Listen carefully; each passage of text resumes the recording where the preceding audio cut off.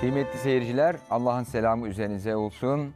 Elhamdülillah bir yeni açık medeniyet programında daha bir araya e, geldik. İnşallah bu e, programımızda Tahsin Görgün ve Akif Kayapınar e, hocalarımızla e, birlikte e, çok tartışmalı bir konuyu ele, ele alacağız. E, yanlış İbn Haldun yorumları. Evet, e, bugünkü konumuz yanlış İbn Haldun yorumları. E, İbn Haldun tüm dünyada üzerine dikkatleri çeken bir e, düşünür. Doğuda, batıda çok farklı düşünürler. İbn Haldun'u okuyorlar ve İbn Haldun hakkında yorumlar e, üretiyorlar. Ancak e, bu yorumların çoğu vakayla e, uyuşmuyor. Bu yanlış yorumlar e, nelerdir? E, ve neden bu yanlış yorumlar ortaya çıkmış? İnşallah bu programda bunları ele alacağız. Bir büyük düşünürün hakkında farklı yorumlar ortaya çıkması son derece doğaldır. Mesela Marx hakkında çok farklı e, yorumlar var. Hatta e, o yorumların bir kısmını Marx kendi duymuş ve ben Marksist değilim diye onları e, reddetmiş. E, hakeza Weber hakkında farklı yorumlar var. İbn Sina hakkında, Gazali hakkında çok farklı yorumlar var. Zaten bir büyük düşünürü büyük düşünür yapan onun hakkında farklı hatta birbirine zıt yorumların e, bile ortaya çıkmasıdır. Kant hakkında, Hegel hakkında e, vesaire bu büyük düşünürlerin hepsi hakkında çok farklı farklı e, yorumlar var. Onların büyük düşünür olması belki de esas sebep bu tür farklı yorumlara e, sebep olması açısından. Ancak İbn Haldun söz konusu olduğunda e, gerçeklerle açıkça bağdaşmayan, hani sadece farklı yorum e, diyerek e, kabul edebileceğimiz veya saygı duyup itibar edebileceğimiz şeyler değil, e, vakayla tamamen örtüşmeyen e, e, yorumlar var. Bu yorumlar neden ortaya çıkıyor? Cehaletten mi, ön yargıdan mı ya da başka sebepleri mi var? Bunları e, tartışacağız. Ama isterseniz önce e, bazı örneklerle başlayalım. Evet Akif Hocam sizce İbni Haldun hakkındaki en çarpıcı yanlış yorum nedir? Sizin Ee, kanaatinizce, sizin e, okuduklarınız, gördükleriniz çerçevesinde. Yani bir örnekle başlayalım isterseniz. Fransız e, müsteşrik Gautier e, diyor ki önce bir doğuyu ve doğululuğu tanımlıyor, batıyı ve batılılığı tanımlıyor. Doğululuğu şöyle tanımlıyor mesela akılcı eleştiri kavrayışından ve gerçeklik duygusundan yoksun. Doğuda mesela akılcı bir eleştirel bakış olamaz ona göre. E, batıyı nasıl tanımlıyor? Efendim canlı bir eleştirel bakışa sahip olmak tır batılılık. Öyle tanımlıyor. Ondan sonra da diyor ki İbn Haldun doğulu sayılamaz. O bir batılı sayılmalıdır. Bunun için gösterdiği e, kaynak ve delil de e, İbn Haldun'un e, bir e, Endülüs seyahati sırasında işte Kastilya kralı Pedro'ya elçi olarak gönderildiği süreçte Rönesans'ı soluması. Evet. Havayı teneffüs edince Kastilya'da Birden bir batılı oluyor. eleştirel, akılcı bir adam. Evet. e, Herkes Yani oraya gönderelim bir havayı bir Pek teneffüs çok etsinler. tabii ki farklı yorum var ama benim açımdan en e, dikkat çekici olan e, buydu doğrusu. Evet yani e, Müslüman olamayacak kadar akıllı, Aynen. e, Arap olamayacak kadar akıllı bir adam. Akıllı olmasının sebebi de Kastilya'yı havayı teneffüs etmiş. E, O, evet. rö- Peki tabii o dönem Hocam sizce, Rönesans başlamıştır. e, Rönesans en çarpıcı etmiş. yanlış İbn Haldun yorumu nedir? Bir örnekle Ya bir defa e, İbn Haldun'la alakalı belki en e, İbn Haldun'un yanlış takdim edilmesinin en üst ifadesi rahmetli Cemil Meriç'in e, şairane ifadesiyle kendi semasında tek yıldız olması. Yani ve e, İbn Haldun e, söz konusu olduğunda onun ne öncüsünün ne takipçisinin olmadığını e, gerçekten de semada kendi semasında tek yıldız olarak var olduğunu söyleyen iddia eden söylem İbn Haldun'u hiç anlamamış demektir Evet. zaten. Çünkü biraz sonra daha konuşacağız. İbn Haldun'un yaşadığı dönemde o kadar büyük bir İslam tefekkürü var ki İslam düşüncesi her türlü her yönden. Yani yüzlerce alim ismi e, söyleyebiliriz. İbn Haldun e, onlardan birisi her halükarda. E, üstelik de en önde gelenlerden biri değil yaşadığı dönem itibariyle. Evet. Evet. e, iki tane yanlış İbn Haldun yorum, yorumu en çarpıcı e, İbn Haldun yorumu e, o e, ele e, almış olduk. E, şimdi e, en yaygın kanaat işte İbn Haldun'un öncüsü yok şeklinde bir e, kanaat var. E, yani böyle Hüdayi Abid çok istisnai bir şekilde içinde bulunduğu işte bu İslam ve Arap hani kültür ortamıyla asla bağdaşmayan son derece akılcı, son derece empirik bir e, istisnai bir şahıs e, ortaya çıkıyor. Bu doğru mu? Yani gerçekten İbn Haldun'un öncüsü yok mu? Evet e, Akif Hocam ne dersiniz? Doğru değil kanaatimce. Hocam da zaten zikretti. Bir kere İbn Haldun kendisi e, büyük bir müktesebatın üzerine e, inşa ettiğini düşüncesini kendisi söylüyor. Yani mukaddime boyunca yüzlerce isme, kendisinden önce yaşamış yüzlerce isme e, bazen hayranlıkla, bazen işte e, düşüncesinin kaynağı olarak referanslar veriyor, atıflar yapıyor. E, ve tek tek aslında mukaddimede dile getirilen fikirleri ele alırsak geriye doğru pek çoğunun izini sürebiliyoruz. Yani bu fıkhi bir e, hüküm olabilir. Bu efendim e, edep geleneğine dair bir hüküm olabilir. E, bir e, söz ya da aforizma olabilir. Bunların hepsini biz geriye doğru e, izini sürebiliyoruz ve İslam düşüncesi çerçevesinde her birini İbn Haldun'dan öncesine götürebiliyoruz. Yani dolayısıyla İbn Haldun isterseniz önce İbn Haldun eğitiminden başlayalım. evet yani e, İbn Haldun nasıl bir eğitim alıyor? Çünkü aldığı eğitim hani onun e, kaynaklarını gösterme açısından son derece önemli. E, kendisinin Et-Tarih bi İbn Haldun isimli eseri var. Ve bu eserde hocalarını sıralıyor. evet Okuduğu kitapları e, sıralıyor. Bence bu en güzel e, kaynak. Yani e, İbn Haldun'un öncüleri kimlerdir? 30'a yakın hocasını bizzat zikrediyor Evet orada. yani evet. e, dolayısıyla o hocalar İbn Haldun'un öncüsü. Yani İbn Haldun kendi kendine bir anda ortaya çıkmış bir e, insan değil. Yani 30 hocadan ders almış, onlardan icazet almış, onların ilminden istifade e, etmiş bir insan. Bir de tabii kitaplarını okuduğu e, kendinden önceki nesilden e, insanlar var. Şimdi buradan baktığımızda e, İbn Haldun kendisini Maliki fakih olarak tanımlıyor. Dolayısıyla Maliki fıkıh geleneğine mensup. Kendisini Eş'ari olarak tanımlıyor. Özellikle Fahrettin Razi, Maverav Nehir. Yani kendisi Kuzey Afrika'da olduğu halde Maverav Nehir'le entelektüel, fikri bir bağlantı e, içerisinde. Hakeza kendinden önceki tarihçilerden Tabii e, istifade ediyor. Onları saygıyla zikrediyor. Mesela Mesudi'yi özellikle. E, tabii saygıyla zikretmesi hiç eleştirmeyeceği anlamına gelmiyor.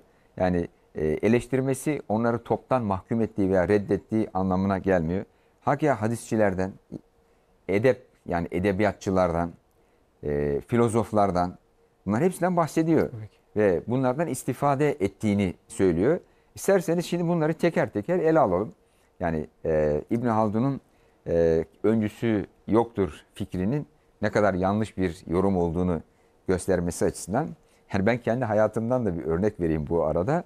E, bazen böyle batıya falan gittiğimizde orada bazı batılılarla tanışıyoruz. Ya diyorlar sen çok farklı bir Müslümansın. Peki diyorum siz kaç tane Müslümanla tanıştınız bugüne kadar? hani neye dayanarak benim diğer Müslümanlardan farklı olduğumu söylüyorsunuz? Hiç. Tamam bir ön yargı var. Tamam bir ön yargı var. Ee, o ön, ön yargıya uymayınca ha, sen diğer Müslümanlardan farklı istisnai bir Müslümansın şeklinde. Burada da benzer bir durum e, var gibi e, geliyor bana. Mesela şimdi Maliki fıkı. Yani, İbn Haldun kendi o fıkıh geleneğinin son halkasını temsil ediyor kendi e, neslinde. E, mesela Maliki fakihi olmak İbn Haldun'a nasıl tesir etmiştir? Orada nasıl beslenmiştir? Şimdi oraya geçmeden önce istersen şeyi kısaca bir hatırlayalım. Ee, İbn Haldun'un yaşadığı dönemde e, İslam e, toplumlarında e, büyük düşünür var mıydı yok muydu? Yani şöyle bir varsayım var ya işte Gazali ile birlikte e, İslam düşüncesi bitti. E, İslam düşüncesi bittiği için de zaten e, istisnai olarak bir ara işte İbn Haldun böyle görünür. Göründü. İşte şeyde Evet. e, Endülüs'te İbn Rüşd Evet. ve e, Kuzey Afrika'da da e, İbn Haldun böyle çok istisnai olarak e, göründü. E, aslında bunlar e, gidişatı temsil Yani etmez. çağdaşı olan E, tabii, diğer tabii. alimler. Tabii çağdaş Evet, olan alimlerden mesela? bak isimler söyleyeyim. Şemseddin İsfahani mesela. İnanılmaz çok esaslı bir alim. Saduş Şeria. Yani tadilül ulumundan tenkihine, tavzihine vesaire varıncaya kadar gerçekten devasa bir alim ki Saduş Şeria.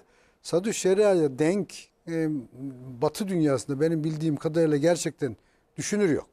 O kadar esaslı ve büyük bir düşünür Saduş Şeria. Davud-u Kayseri mesela. E, Adüeddin İyici. Yani şeyin e, kendisinin ciddi şekilde atıfta bulunduğu isimlerden birisi e, Adüeddin Elici. Kutbettin Razi, e, Cemalettin El İsnevi, Muhammed bin Mübarek Şah. Bunların bir kısmı da Mısır'da yaşıyor zaten.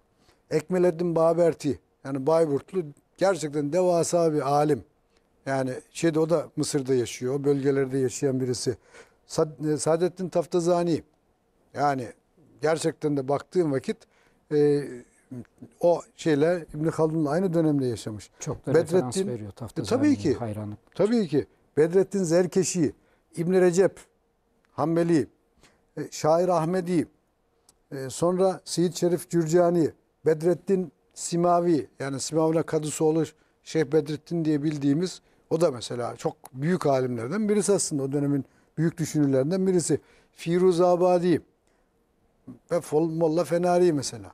Şimdi şöyle baktığımız vakit bunların her birisi gerçekten şeyle e, İbn Haldun aynı dönemde yaşamış ve e, her birisi e, devasa büyük düşünürler. Bunların daha bir sürü isim ekleyebiliriz tabii, buna. tabii, yani. tabii, tabii. Yani eğer e, İslam düşünce tarihini, ilim tarihini incelesek hani o yüzyılda daha yüzlerce Tabii ki. başka e, Ha, yani- alim olduğunu Ha, görebiliriz. Dolayısıyla Evet. işte şeyde e, İbn Haldun o düşünce dünyası söz konusu olduğunda İslam medeniyetinde e, tek başına e, bir düşünür.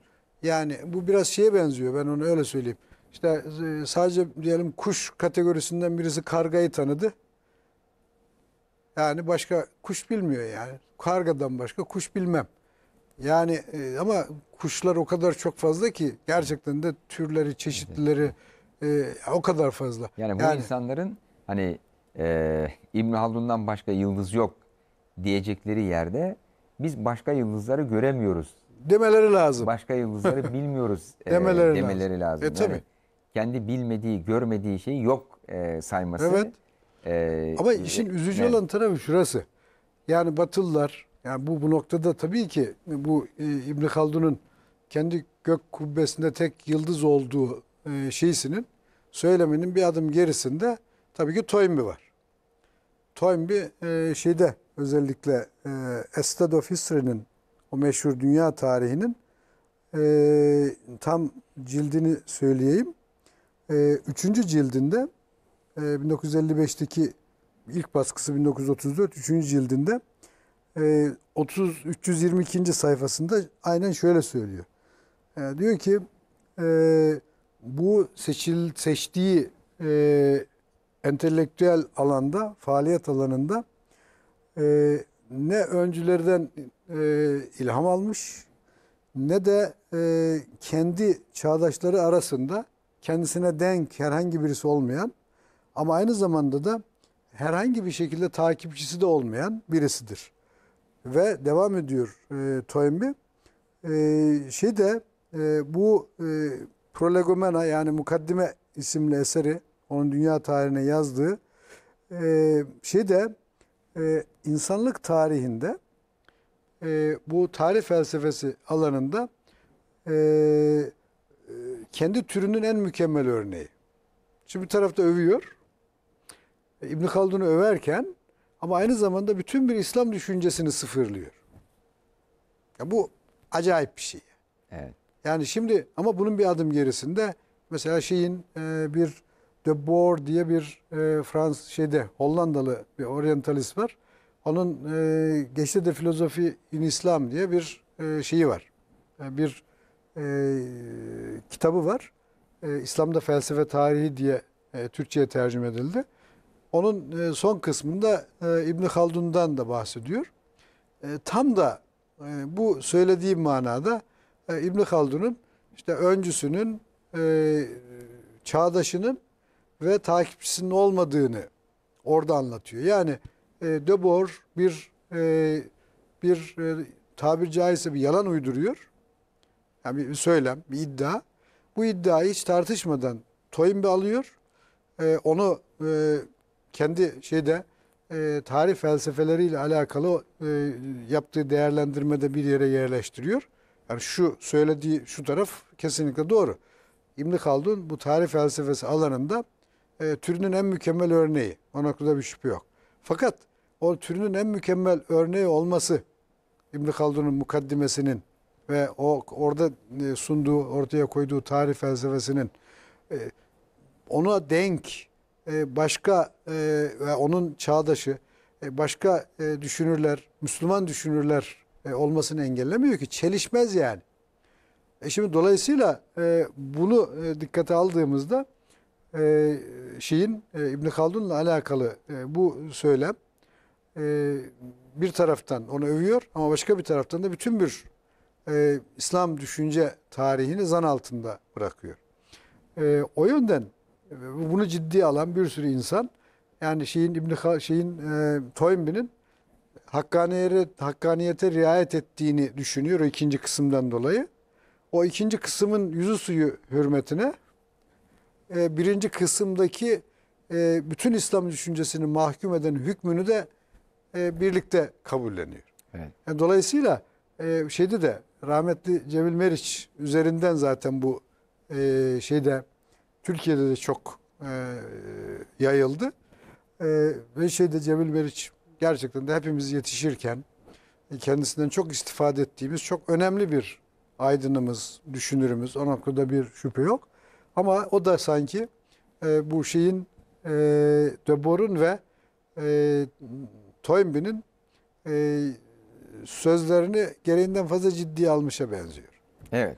Evet. e, Dolayısıyla yani e, İbn Haldun yaşadığı dönemde e, başka birçok e, saygın alim var, etkili alimler var. Hatta kitapları hala günümüzde okunan, tartışılan e, ve etki yapmış e, alimler var. Bak yaşadığı yaşadığı dönemden sonra bak Abdülkerim el-Cili, İbnül Cezeri, Abdülkadir Meragi, Takiyüddin Makrizi, Ulu Bey, Şahabettin İbn Arapşah, Bedrettin Ayni, İbni Humam, Musannifek, Ali Kuşçu, Molla Lütfi, Muhittin Kafiyeci, Molla Hüsrev, Alaaddin Tusi, Sehavi, Celaddin Suyuti. Evet. Yani baktığım vakit hem e, İbn Haldun'un e, doğmadan önce yaşamış olanlar, birlikte o yaşarken hayatta olanlar, öldükten sonra da Evet. e, şey yapan, ortaya çıkmış olan devasa alimler var. Şimdi bunların hepsini şöyle dikkate aldığımız vakit İbn Haldun aslında büyük bir yıldızlar topluluğun içerisinde var. Zaten şey gibi yani ben e, bu düşünce tarihi, düşünce alanı söz konusu olduğunda da hep onun farkında olmak lazım. Hiçbir zaman bir düşünür tek başına var olmaz. Aynen. Evet. Yani eğer ortada, tabii. mümkün, Mümkün değil. değil. Mantığa Ha, şimdi mantığa ortada ortada bir zirve varsa yani Himalayalar varsa şayet onun etrafında yani Everest diye bir işte en büyük zirve varsa şayet onun yanında işte 8000 metre ise şayet 7500 metre e, 7000 metre belki onlarca e, şey olması lazım. E, dağ olması, tepe olması lazım ki onların içerisinde e, şey Everest mevcut olabilsin yani. Evet. Gerçekten de böyle. Yani bu teşbih, zaten akılda i- kalması e, açısından Yani bu e, böyle bir iddia İbn Haldun'un kendi ifadelerine de ters. Tabii ki. Mukaddemeye de e, ters. Mesela kendisi Maliki e, mezhebine mensup olduğunu söylüyor. Yani bu şu anlama geliyor. Yani o Maliki silsilesinin e, son halkasını teşkil ediyor kendi e, yaşadığı dönemde. Hakeza e, işte Eş'ari geleneğine mensup olduğunu söylüyor. Yani o Eş'ari silsilesinin son halkasını teşkil ediyor. Sufi yani demek ki bir tasavvufi silsileye mensup onun son halkasını e, teşkil ediyor. E, zaten o 30 tane hocası var. O hocalar üzerinden kendinden önceki e, mirasa e, bağlanıyor. Evet, e, e, yani bütün bunlar hepsi tarihi bilgiler, somut e, bilgiler. Yani hocaları olması, hocaların hocaları olması, onlar üzerinden e, fıkıh geleneğinde bir yere bağlanması, kelamda bir yere bağlanması, tasavvufta başka bir yere bağlanması e, ve bunları da kitabında alıntılar halinde Zaten 6. kitabı, Mukaddime'nin 6. bölümünde e, zamandaki mevcut ilimlerin tarihini anlatıyor, temel meselelerini anlatıyor, büyük otoritelerini anlatıyor. Yani bunlara hakim olduğunu zaten Evet. orada görüyoruz. Hı hı. E, hakim olup da etkilenmemiş olmak, istifade etmemiş Evet, olmak mümkün evet. değil. Evet şimdi e, e, mesela Eş'ari e, kelamına yani o e, o mezhebe mensup yani o geleneği benimsiyor. E, daha önceki programlarımızda konuştuk. Şimdi bu geleneğe mensup olmasının, Maliki fıkıh geleneğine mensup olmasının işte e, e, tarih geleneğine, hadis geleneğine, edebiyat geleneğine, felsefe geleneğine mensup olması. Yani bunların ne gibi yansımaları oluyor e, eserlerinde? E, yani onlardan nasıl istifade etmiş? İsterseniz bunu somut bir şekilde e, ifade etmeye Şimdi, çalışalım. e, e, Maliki geleneğine ve Eşari geleneğine mensup olmasının ne tür etkileri olmuş? Bunu birkaç örnekle somut bir şekilde ifade edelim. Ondan sonra da Hı hı. içinde yetiştiği ortama dair belki bir gene- genel değerlendirme yapmak iyi olabilir. E, Bazı araştırmacılar Maliki geleneğine, geleneğine mensup olmasının İbn Haldun üzerinde yaşanan tarihsel ve toplumsal gerçekliği dikkate alması noktasında etkili olduğunu söylüyorlar. İşte Maliki geleneği malum e, Medine e, ahalisinin amelini bir kaynak olarak Evet. e, Yani kabul ediyor. ameli ehli Medine bir şeriatın, fıkhın bir kaynağı. Evet. Bu da tamamen sosyolojik bir yaklaşım aslında. Evet yani, Yani eğer bir şehirde yani bir amel varsa, bir tatbikat, bir uygulama varsa bu şeriatın, fıkhın bir kaynağıdır. evet. Evet. Tamamen Mesela empirik. İbn Haldun Evet. üzerinde bunun e, belki bilinç altında, belki bilinç düzeyinde etkisinden bahseden araştırmacılar var. E, Eş'ari geleneğine mensup olması tabii çok daha büyük e, özellikle e, kelam anlayışını şekillendiren bir e, etkiye sahip. İşte e, bugün metafizik diyebileceğimiz alemi melekuta dair bilginin e, sadece ihbari olması, e, sadece efendim e, nebevi e, bilgi üzerinden e, beslenmesi gerektiği düşüncesi yine buradan geliyor. Fil- fil- filozoflarla e, tartışması, felsefecilere yaklaşımı yine aslında Eşari geleneğinin yaklaşımını yansıtıyor. E, çok açık bir şekilde felsefecilerle niçin e, uyuşmadığını, felsefecilerin niçin bazı hususlarda yanıldığını uzun uzun anlatıyor. Yani Muhsin Mehdi gibi bazı modern çağdaş e, araştırmacılar e, şartları zorlayarak hatta mantık e, ilkelerini zorlayarak aksini iddia etse de aslında çok açık bir şekilde eşari pozisyonunu takınarak felsefecilerle bir tartışmaya giriyor. Bu felsefeden hiç etkilenmediği anlamına gelmiyor. Felsefecilerden etkilenmiş ama bu onu özellikle temel varsayımları açısından felsefecileri eleştirmesini engellemiyor. İçinde yaşadığı dönem itibariyle de aslında mesela İbn Haldun'un nasıl bu kadar eklektik, nasıl bu kadar e, zengin bir düşünce e, birikimine sahip olduğunu izah etmesi bakımından önemli. Mütahirin döneminde yaşıyor malumunuz. Mütahirin döneminde de e, siz hocam daha iyi izah edersiniz. E, kelamın, felsefenin, tasavvufun artık birbirine yaklaştığı, otoritelerin her üç alanda birden e, eserler verdiği, bir kelamcının aynı zamanda felsefe alanında ya da bir e, filozofun aynı zamanda kelam alanında çalışmalar yaptığı e, bir dönem.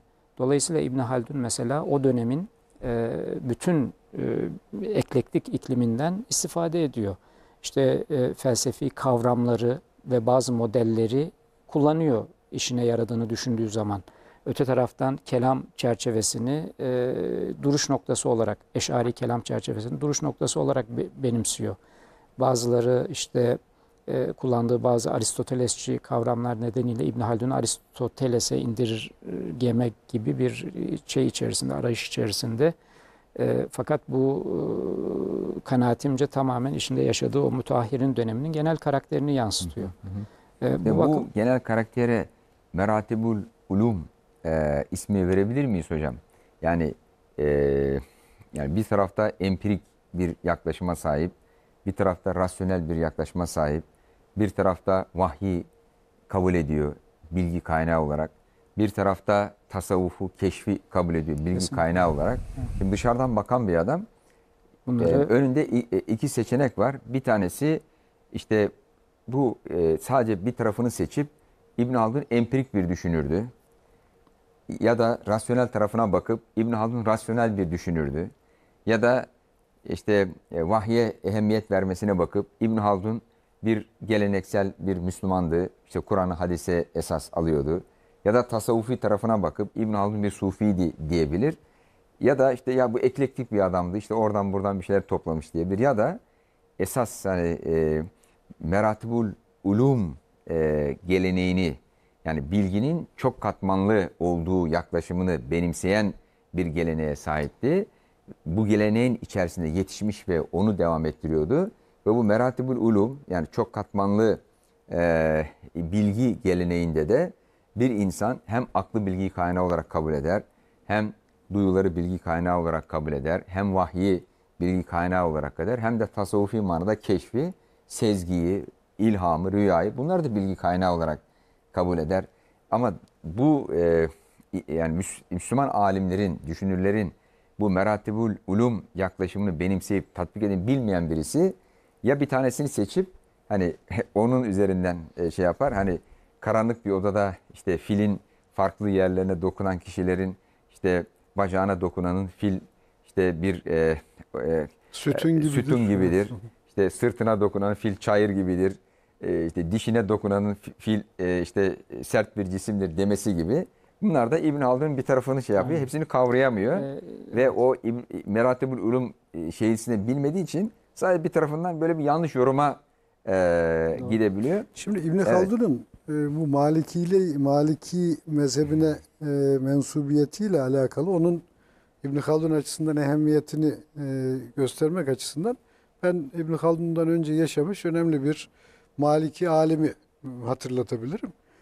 Karafi. Çok önemli bir e, alim. Bir sürü eseri var. Onun furuku vesaire e, önemli tabii. Ama e, Karafi'nin temayüz ettiği taraflardan birisi Fahrettin Razi'nin e, Fıkıh Usulü kitabı El Mahsul'e e, yazdığı şer. El Mahsul zaten kendisi büyük bir eser. Öyle küçük bir kitap değil.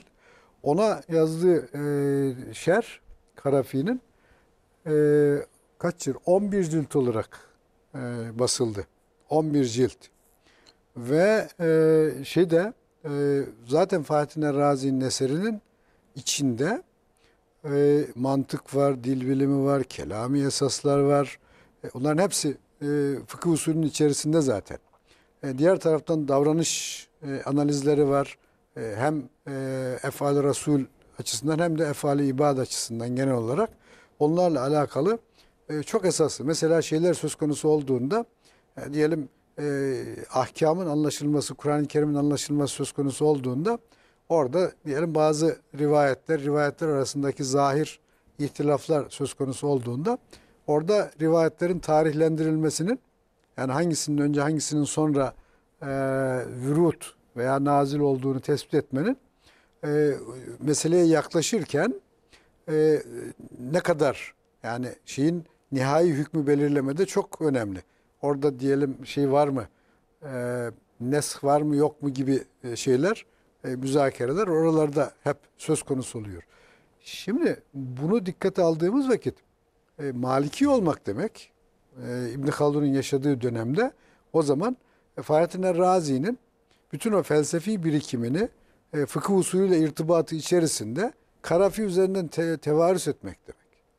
Yani dolayısıyla şimdi bu tarafına baktığımız vakit oradaki sürekliliği dikkate aldığımız vakit İbn Haldun nasıl oluyor da işte fıkıh usulünden de istifade ederek e, yaptıklarını ilmi umranı ortaya koyuyor sorusunun cevabı aslında doğrudan doğruya bu fıkıh usulüyle alakalı o gelişmelerin içinde.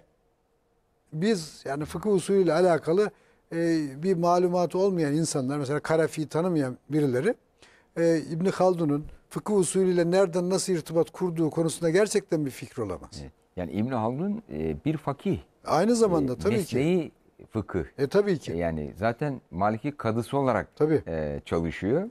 Yani işi Mısır'da, fıkıh yani. evet. Maliki kadılığı yapıyor Mısır'da e, kaç sene. E, yani bunu asla göz ardı edemeyiz. Yani yani o e, bir e, fakih olması ve o fıkıh geleneğine e, mensup olması tabii bu mutlaka İbn Haldun'un e, düşüncesini etki eden e, bir şey. Mesela eşari olması e, bu nasıl tesir etmiş? İşte eşari olması Evet. dediğim gibi yani şeyde bunların her birisini çok ince ince konuşabiliriz de bence şey konusu e, burada e, biraz daha e, önemli. E, İbn Haldun'la alakalı farklı söylemler yine. Çünkü İbn Haldun'un e, şeyinin e, düşüncesinin içeriğiyle alakalı konuları zaten e, daha sonra yine konuşacağız. Ama burada bence şeyi biraz daha konuşalım. Mesela biraz önce e, e, Akif Hoca'nın ismini telaffuz ettiği değil diye bir zat var. Ya bunun e, bir e, şeyi meşhur bir makalesi var. Sonra o makaleyi tutup e, şey yaptı, kitaplaştırdı. Ve yani bu makalenin başlığı zaten işte son e, Yunanlı ilk e, analist tarihçi. Onu daha önceki bir programımızda da telaffuz ettiğimizde bunun teferruatını daha sonra konuşalım demiştik. İşte tam da sırası şimdi. Yani şimdi buna baktığımız vakit yani değilin yaklaşımı söz konusu olduğunda biraz önce senin de işaret ettiğin nokta önemliydi. Yani İbn Haldun gibi bir düşünürü Müslümanlara, Müslümanlığa, İslam medeniyetine yakıştıramıyor. Yani şimdi şeyde bir böyle devasa bir şey var onun kafasında. Yani değilin kafasında devasa mucizevi bir Yunan düşüncesi var. Yunan medeniyeti var. Ve diğer taraftan da işte insanlığın e, artık varlığının amacı olan Batı düşüncesi var. Ve bu çerçevede de Batı düşüncesi içerisinde de e, tarihçiler e, söz konusu olduğunda şeyleri nedensellik düzeni içerisinde süreçleri analiz noktasında belirli bir şekilde temayüz etmiş olan e, bu analist o şeyler ekol e, dediğimiz Fransız tarih ekolü. Şimdi o Fransız tarih ekolü aynı zamanda yapısalcılığın da bir tür uygulaması gibi. Yani o Fernand Braudel'in efendim e, şeyin e, Luc Ferry'nin daha başka bir sürü isimler var. Orada yetişmiş. Şimdi onların e, çalışmalarına baktığımızda e, şey e, değil e, İbn Haldun'u e, bir şekilde Müslümanlar, Müslümanlık, İslam medeniyetine yakıştıramıyor. Evet. Ya Yunanlı ya Fransız. Yani baş, yani bir insan eğer e, insanlık için e, insanlığın dikkatini çekecek bir iş yaptıysa bu Arap, Türk, Müslüman olamaz. Olmamalı yani. Ya Yunan olacak ya Fransız olacak. Evet. Ya Yunan olacak, ya Fransız olacak, ya Alman olacak, ya İngiliz olacak, ya Amerikalı olacak. Yani aksi takdirde olmaz. Orada şimdi bunu e, düşündüğünüz vakit önce şunun e, sorgulamasını yapmak lazım. Bu nasıl bir zihniyet? Nasıl bir bakış şekli? Bu ne zaman oluştu? Nasıl oluştu? Yani gerçekten de şimdi insanlığın eğer önemli sorunlarından birisinden bir neler ne gibi insanlık e, temel sorunlarla karşı karşıya diye soracak olsak işte Batı dünyasında akademik çevrelerde bayağı önemli bir kısmında mevcut olan bu bakış şeklinin insanlığın önündeki önemli sorunlardan birisi olduğunu bizim görmemiz lazım. Mesela mesela şunu da söyleyebiliriz diyebiliriz ki ya Batılılar cahil, bilmiyorlar. Keyfi bir şekilde e, işte harcı alem fikirleri var vesaire. E, Bunlar kendilerini ilgilendirir falan demeye teşebbüs etsek öyle olmuyor ki. Türkiye'deki akademinin içerisinde bir sürü insan da e, bir şekilde batıdaki söylemlere bağımlı ve kendi konumlarını veya kendilerini batıdaki akademik söylemlerin uzantısı olarak görüp kendi konumlarını orada e, tanımlıyorlar. Öyle algılıyorlar kendilerini. İşte uluslararası bir ilim camiası var. Bu ilim camiasının Türkiye'deki temsilcisi de Türkiye'deki o artık kimlerse onlar. Kendilerini öyle görüyor. Öyle olduğu için de Batı dünyasındaki bu tip e, söylemler e, şey bir herhangi bir sansüre, sınırlamaya, herhangi bir eleştiriye e, uğramaksızın insanların zihinlerine, oradan kitaplara, oradan bir bütün olarak e, geçmişimize, kendi geçmişimize, e, bakışımıza sirayet ediyor. Bu orada kalmıyor. Okullara, ders kitaplarına sirayet ediyor. Öğretmenlerin zihinlerine sirayet ediyor. Ve yeni yetişen nesiller e, hakikatle gerçekten irtibatı olmayan ve kendisini tahkir etmeyi eleştiri zanneden e, şeyler, garip varlıklar haline dönüştürülüyor yani. Şeyde de, akademide de onu çok görürsünüz. Yani şeyi, e, İslam Müslümanları, Türkleri e, tahkir etmiyorsanız eleştirel düşünmüyorsunuz. Ya tahkir etmekle eleştirmek arasında e, yani hiç alaka yok yani. Farktan bahsetmenin anlamı yok. Yani ne demek eleştirmek? İşte tahkik dediğimiz şey. Yani burada daha önceki programda da konuştuk. Eleştiri demek, tahkik demek, kritik demek zaten sınırlarını görmek, göstermek demek yani. Kritiğin özelliği bu. Ve öncüllerle ara terim ve sonuç arasındaki irtibatın gerçekten olup olmadığını e, ortaya koymak demek. Tahkik böyle bir şey. Yani tahkiki farklı şekillerde kullanıyoruz.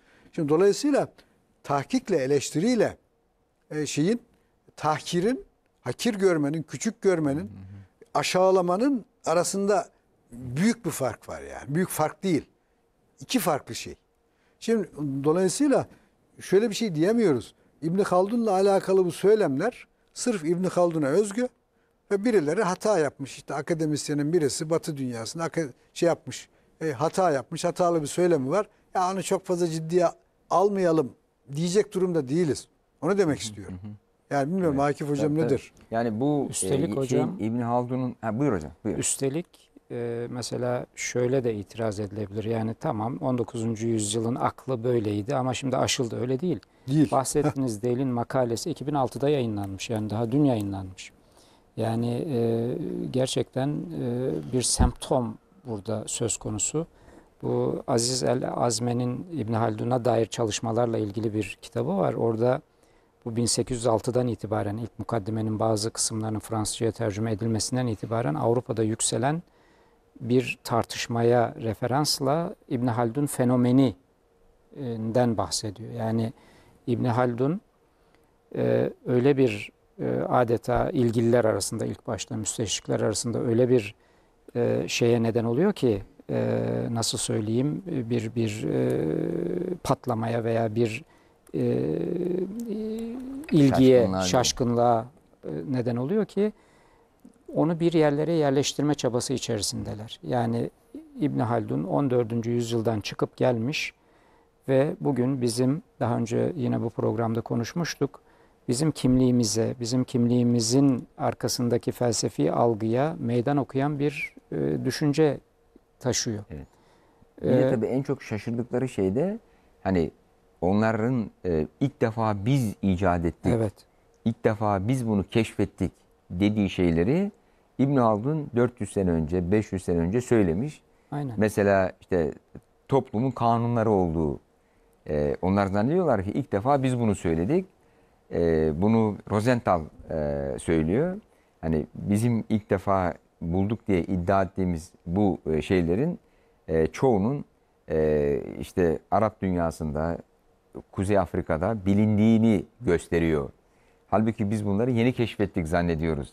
İşte Ee, ras- orada rasyo- bir nevi kendilerine bir tehdit görüyorlar. O aynen. Hani yani öncü te- rolü. kesinlikle tehdit. e, yani evet. bir e, hani yine konuştuk ya Avrupalılık kimliği, Hı. Avrupa medeniyeti fikri Hı.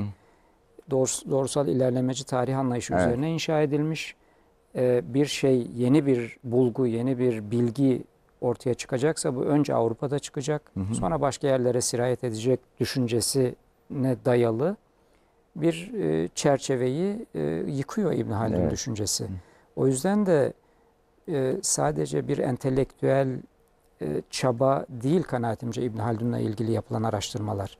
Ve İbn Haldun'un düşüncesinin mahiyetinden zira, ziyade onu insanlık düşüncesi tarihinde nereye konumlandırmalıyız sorusu Evet. büyük ölçüde Evet. soruluyor ve üzerine gidiliyor.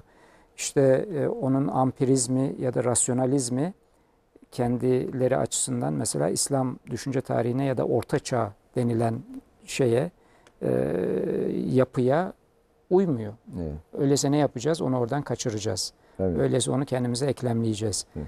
E, tabii İbn Haldun çok zengin, çok katmanlı. Biraz önce zikrettiğiniz gibi hem sufi bir e, düşünür, hem rasyonel bir düşünür, hem eşari bir e, inanan, hem Maliki mezhebine mensup bir e, Müslüman e, işte felsefe ile hemhal olmuş, e, felsefi modelleri ya da kavramları kullanmakta e, bir beis görmeyen, bununla birlikte felsefeyi eleştiren, işte edep geleneğini tevarüs etmiş, e, hatta Yunan e, mük- müktesebatına özgüvenli bir şekilde e, bakan bir isim. E, ama bazıları bu ampirizmine ve rasyonalizmine bakarak İslam dünyasından, Türkiye'den de düşünürler var bunların içerisinde. İşte İbni Haldun'u e, dini ile e, efendim bilimsel e, araştırmasını birbirinden ayırabilmiş bir zihin olarak tanımlıyorlar. Neden? Çünkü cari paradigmada dini bir bakışla bilimsel bir bakış telifi imkansız bir şeydir, e, durumdur. Öyleyse ne yapacağız? E, cari paradigmadan vazgeçemeyeceğimize göre o zaman İbn Haldun'u biz bir yere iteceğiz, bir yere indirgeyeceğiz. E, bu tabii ki İbn Haldun sınırlara sığmıyor bu sınırlara. O yüzden de hep birbirini yanlışlayan, birbirinin zıddı başka yorumlar ortaya çıkmış. İşte Hamilton Gibb gibi yine büyük müsteşriklerden birisi çıkmış demiş ki yanılıyorsunuz İbn Haldun sizin dediğiniz gibi biri değil o bir fakihtir. Mukaddimenin her sayfası da buna şahitlik eder. Ya da işte Muhsin Mehdi çıkmış demiş ki hayır o fakih değildir o bir filozoftur. Efendim e, başkaları çıkmış o bir filozoftur ama öyle bir filozof değil de şöyle bir filozoftur. İbn Rüşd'ün e, nasıl söyleyelim e, takipçisidir falan gibi birbirleriyle taban tabana zıt bir şey içerisinde bir tartışma zemininden bahsediyoruz aslında. Ve biraz önce dediğim gibi bu bir semptomatik bir durum. Yani Tahsin Hocam'ın söylediği ciddi bir sıkıntılı, hastalıklı bir bakışı çok net bir şekilde yansıtması bakımından önemli görüyorum ben bu İbn Haldun fenomeni denilen e, şeyi. Evet. Dolayısıyla e, yani sadece bir cehalet neticesinde böyle bir yanlış yorumlara e, gitmiyorlar. Bunun arkasında daha derin e, Bir kimlik sebepler mücadelesi. var. Bir kimlik mücadelesi. O da hani işte biz batılıyız. işte toplumu bilimsel olarak araştırma yöntemini ilk defa biz geliştirdik. Düşünce bizden sorulur. He, e, şeklinde işte e, toplumun e, kanunları olduğu düşüncesini ilk defa biz ortaya attık. Toplumsal olayların, ekonominin, biz siyaset, siyasetin işte sebep sonuç ilişkileriyle ilerlediğini ve bunların sebep sonuç ilişkisi içerisinde açıklamalarının ortaya çıkarılması metodunu ilk defa biz geliştirdik. Bunu da işte modern dönemde ortaya attık derken böyle bir hikaye, böyle bir anlatı üretirken bir anda aynı şeyleri daha sistemli bir şekilde ortaya atan 3-4 asır önce yaşamış bir Arap Müslüman e, alim ortaya çıkınca bir anda kafaları karışıyor. Her şey allak bullak Kurgu bozuluyor yani. Çünkü bütün kurguyu çökertiyor. Aynen. Bütün kurguyu çökertmiş Şimdi oluyor. Recep Hocam ilginç noktalardan birisi şurası. Ee, diyelim herhangi bir Müslüman düşünürün yani empirik verileri dikkate alması e, mesela insanları niye e, şaşırtır? Biraz önce söylediğim sebepten dolayı Yok yok şeyle alakalı şöyle diyorum. iddia ediyor. Ha. İlk defa empirik düşünceyi biz geliştirdik diyor. Ha, şimdi şöyle bir şey var. Normalde Ömer Nesefi'nin Akaid kitabına bakıyorsun. Orada diyor ki e, eşyanın hakikati sabittir ve e, onunla eşyanın hakikati bilinebilir. Bilmenin yolu da diyor havası selime. Ne demek havası selime? Bizim duyularımız. Yani duyularımız, duyu verileri yani empirik e, gayret, faaliyet, e, yöneliş zaten bilgi kaynağı olarak baştan kabul edilmiş. Herkes bunu kabul ediyor. Şöyle ama şu var işin gerçeği. Mesela Aristoteles'i, Platon'a hatta Sokrates'e bile gidecek olsan onların metinlerini okuduğunda Yunan düşüncesinin e, empirik olana karşı bir şeyi var. Yani mesafesi var. Empirik olanı e, şey yapmıyor, ciddiye almıyorlar. Daha sonra Hristiyanlıkta da aynı Tabii, anti empirik bir yaklaşım tabii. var. Evet. İşte Ama bu- Müslümanlıkla birlikte bak Evet. empirik olan yerini buluyor. İşte e, haber yerini buluyor. Akıl Akıl, yerini yerini, buluyor ama birisi diğerinin alternatifi değil Evet. hep birlikte. Tabii çok katmanlı bilgi Evet. anlayışı neticesinde Yani hepsi beraber kullanılıyor. Dolayısıyla herhangi bir alimin İbn Haldun veya büyük düşünürün e, empirik olanı da dikkate alması Müslümanlığının gereği zaten. Evet. Yani İslam epistemolojisinin E tabii Doğal ki bir herkes özelliği bu. herkes böyle zaten. evet. Yani Müslümanlar böyle düşünür zaten. Ama işte e, e, yani bunu e, görmek bir anda Batı adına üretilen o e, ilerlemeci e, bilim tarihi anlayışının e, çökmesi anlamına geliyor. Evet. e, e, yani e, o zaman oturacaklar Batı tarihini yeniden yazacaklar.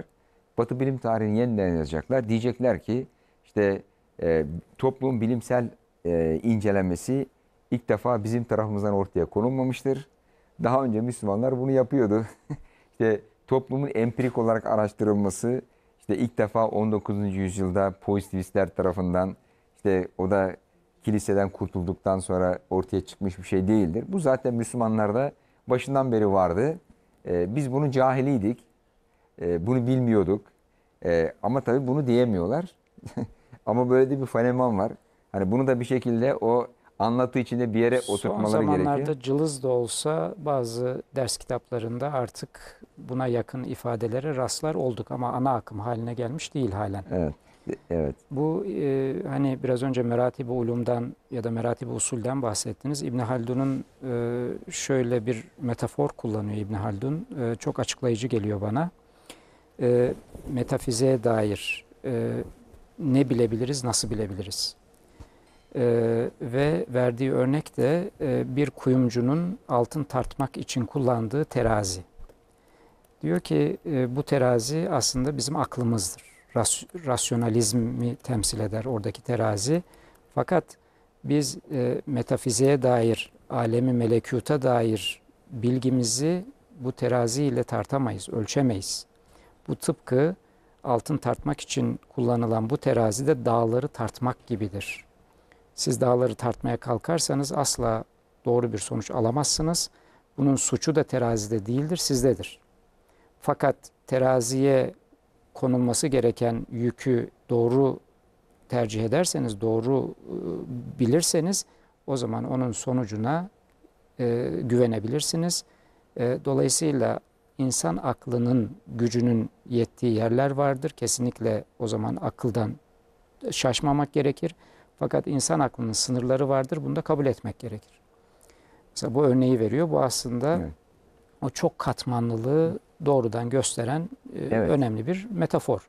Evet. E, bu anlaşılmadığı zaman veya bu görülmediği zaman o çok katmanlılık işte o zaman ya şu ya bu Hı hı. ya şu ya bu demeye getiriliyor. E, o zaman da tartışmanın sonu gelmiyor. Evet. İşte, e, yani İbn Haldun'un e, yanlış anlaşılmasının en önemli sebebi bence hani e, Batı düşüncesinin sahte ikilemler içerisinde olması.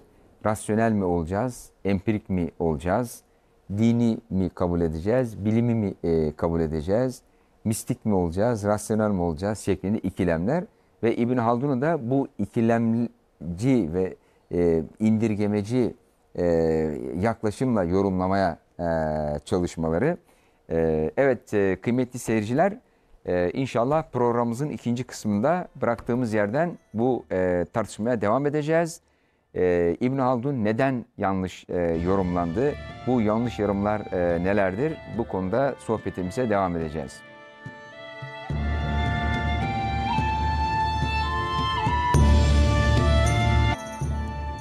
Evet kıymetli seyirciler, e, bıraktığımız yerden devam ediyoruz. Yanlış İbn Haldun yorumları neler? Bu yorumlar neden e, ortaya çıkmış? Sadece bir cehaletten dolayı mı yoksa e, Batı adına üretilen e, ilerlemeci e, bilim tarihi anlayışına bir tehdit gibi Batı'nın üstünlüğünü vurgulayan e, e, yaklaşımlara bir tehdit gibi görüldüğü e, için mi? Bunları e, ele alıyoruz. Arkasında bir ırkçılık mı var? Bir ön yargı mı var? Bunları e, tartışıyoruz. Evet, e, e, Akif Hocam programımızın ikinci kısmına başlamadan önce isterseniz bir çarpıcı örnek daha. Yani yanlış İbn Haldun yorumu hakkında Tahsin Hocam hanginiz önce şey yapmak isterse. Evet, e, Bir başka örnek daha Yani, şey yapalım, e, İbn, zikredelim. İbn Haldun'la ilgili e, işte 19. yüzyıl ve 20. yüzyılın ilk yarısında özellikle yazanların aşağı yukarı ortak kanaati e, mesela Muhammed Talbi e, bu Biril'in İslam Ansiklopedisinde İbn Haldun maddesini yazan kişi e, onu yalnız dahi olarak e, şey yapıyor, tanımlıyor.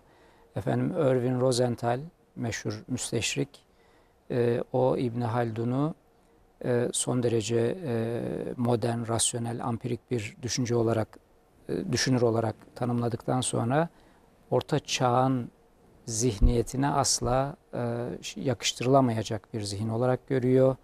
Efendim e, De Boer'i hocam zikretti. Goldziher benzer şekilde yine yani İslami İslam içerisinde İslami olmayan ya da efendim e, İslam medeniyetinde eğer değerli bir şey ortaya çıktıysa bu kesinlikle İslam'a rağmen ortaya çıkmıştır anlayışı. E, dediğim gibi 19. yüzyıl boyunca ve 20. yüzyılın mühim bir kesiminde e, İbn Haldun çalışmalarında hakim olan yaklaşım ola gelmiş. Evet Tahsin Hocam e, başka yanlış İbn Haldun Şimdi yorumları Çok e, fazla yani evet, çok birkaç fazla. tane daha örnek İşte zikredelim hocam. mesela şeyin e, Muhsin Mehdi'nin eseri İbn Haldun's Philosophy of History meşhur. Türkçe'ye tercüme edildi. Orada e, İbn Haldun'u Aristoteles'in e, takipçisi olarak takdim etmeye çalışıyor. Halbuki İbn Haldun'un kendisi çok açık bir şekilde diyor ki Aristoteles'in e, yaptığı şey e, aslında e, olmama, yapılmaması gereken bir şey. Aristoteles tamamen normatif bir şekilde bakıyor şeye, e, topluma, tarihe.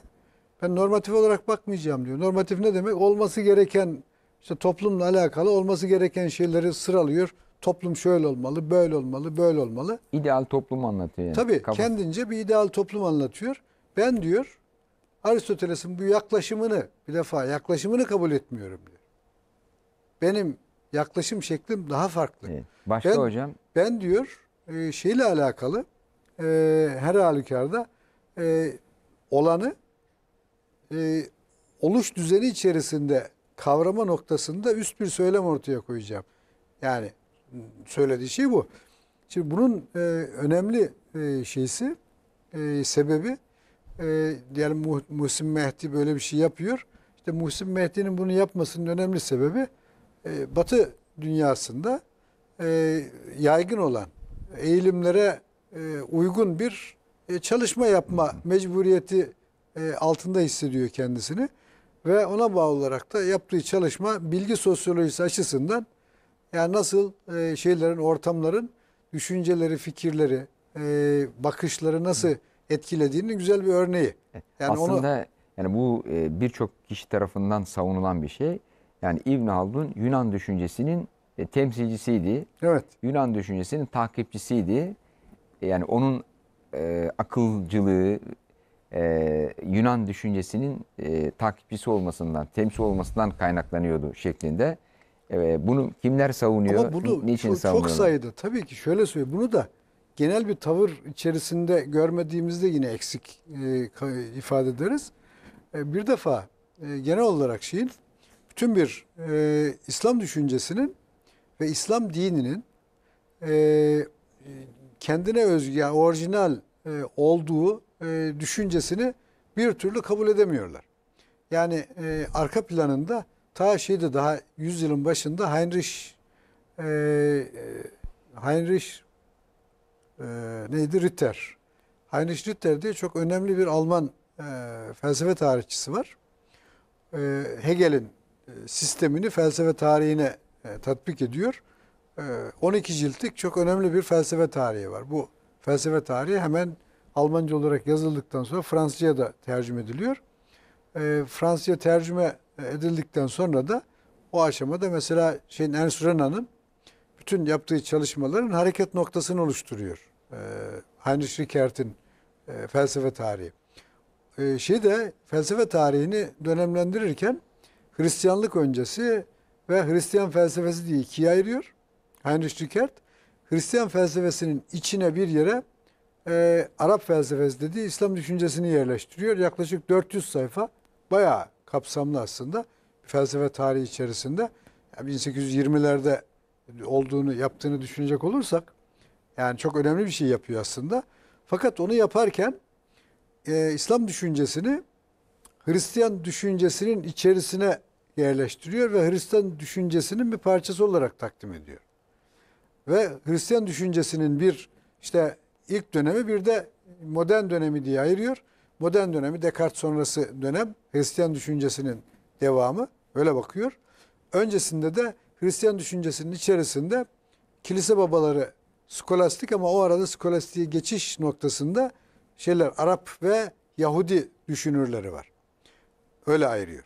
Ve e, Arap düşünürleri, Müslüman düşünürler e, şey olarak, tabii olarak e, Yunan düşüncesinin e, takipçileri e, olarak söz konusu ve orada e, düşünce tarihi içerisinde ne kadar yer alabilir? Yunan düşüncesinden ne kadar istifade ettiyse o kadar. Perspektif bu yani. E, Şeyde Hristiyanlık ve Hristiyan düşüncesi açısından bakıldığında Hristiyanlığın bu konuda bir sorunu yok. Ne anlamda sorunu yok? Hristiyanlık zaten özü olmadığı için Hristiyanlığı e, zaten hep e, sağdan soldan değerlemelerle e, şey yapan, söylemlerini oluşturan, özü olmayan, özgün varlığı olmayan bir din. Yani Hristiyanlığın özü, mesela Hristiyanlığın ne ahlak sistemi var, ne hukuk sistemi var, ne siyasi sistemi var, ne bilimle alakalı herhangi bir iddiası var, ne sanatla, zanaatla hiçbir şeyle alakalı iddiası yok. O ilk dönem Hristiyanlığın özellikle şeye kadar, skolastiğe gelinceye kadar yani orada işte Civitas Dei e, anlayışı e, şeyin Augustinus'un ona baktığımızda onun Civitas Dei dediği kilise. Katolik kilisesi yani. Katolik kilisesi bir tanrı devleti olarak kuruluyor ve onun içerisinde insanlar var olabilir. Yani o kadar. Onu yaparken de zaten Augustinus ciddi bir şekilde yeni Platonculuktan istifade ediyor. Onun kurduğu, e, kurulmasını öngördüğü kilisenin Hz. İsa ile hiçbir alakası yok. Paulus'la hiçbir alakası yok. Dolayısıyla onun bütün içeriği, her şeyi sağdan soldan değerlemelerle yani şeye e, bir kiliseye e, e, temellendirme yönünde bir gayret. Ama İslam e, söz konusu olduğunda İslamiyet Peygamber Efendimiz'in tebliğ ettiğinde zaten bir e, toplum düzeni olarak ortaya çıkıyor. Bir ahlak sistemi, inanç sistemi, siyasi bir düzen, ekonomik ilişkileri tanzim ediyor, hukuki ilişkileri tanzim ediyor. Yani hayatın bütün alanlarını bütün mertebeleriyle tanzim eden bir şey. Yani Müslümanlık öyle bir şey. Şimdi e, bunu yaparken yani bu taraflar hiç yani, dikkat ettikleri falan yok. Yani dikkate almıyorlar yani. E, şey söz konusu olduğunda işte Hristiyanlık mutlak din e, ve e, Müslümanlık da işte özellikle Ahdi Atik'le e, Yahudi e, Ahdi Atik'le o şey yapan ortak olan bir sürü şeyler var tabii Kur'an-ı Kerim'de. Peygamberlerle alakalı e, or, şeydeki Ahdi Atik'te zikredilen peygamberlerle alakalı e, Kur'an-ı Kerim'de oradaki anlatıları tahsih eden e, şeyler var. E, kıssalar var. Ve o kıssalar birebir aynı değil tabii ki. Çünkü e, Ahdi Atik'te bir sürü sonradan ekleme çıkarmalar olmuş. O sonradan o ekleme çıkarmaları atıp e, onun yerine şeyin özellikle bütün kıyamete kadar insanlara yol gösterecek sahneler Kur'an-ı Kerim'de Cenab-ı Hak tarafından bize sunuluyor ki kıssaların zaten şimdi, şimdi esa, özünde o var yani.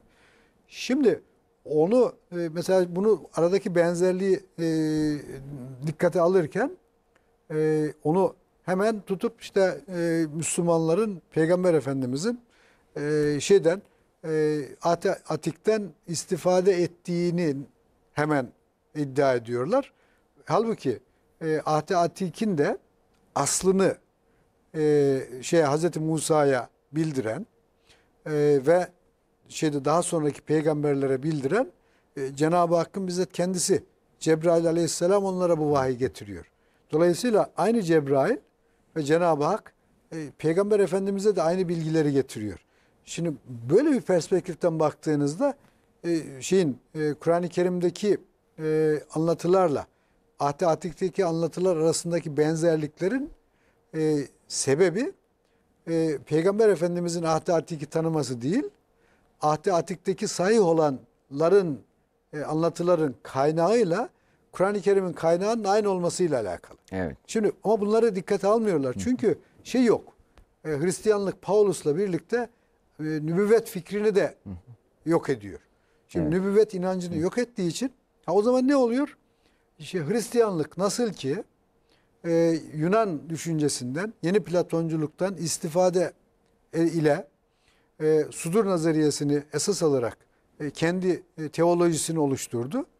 E, şeyde de Müslüman bazı düşünürlerde işte Farabi'de, İbn Sina'da sudurla alakalı bölümleri var eserlerinde. Başka kitaplarda da onlar da çok sınırlı sayıda bu öyle çok yaygın bir şey değil. Oradaki e, unsurları dikkate alarak genel bir genelleme yapıyorlar. İbn Haldun zaten suduru reddediyor. Tabii. Ama Evet, genelleme, genelleme yapıyorlar.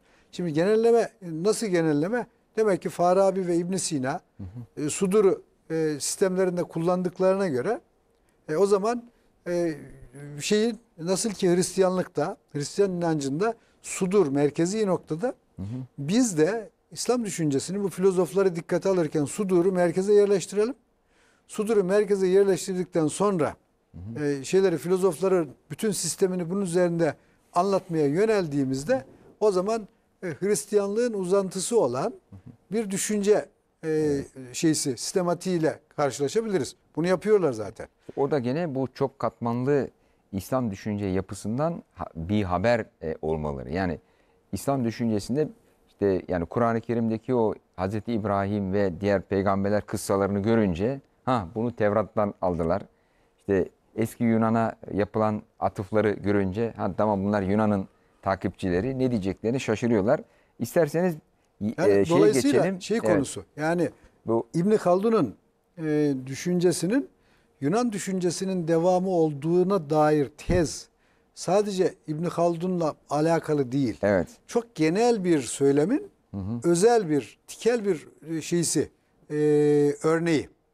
Dolayısıyla o o cihetini dikkate alarak değerlendirmezsek şayet yani İbn Haldun'la alakalı olarak e, bu iddianın e, değerlendirmesini gereği gibi yapmamış oluruz. Onun için biraz evet. daha kapsamlı Tabii bakmak genel gerekiyor. tarihi e, çerçeveye e, oturtmaya e, çalışıyorlar.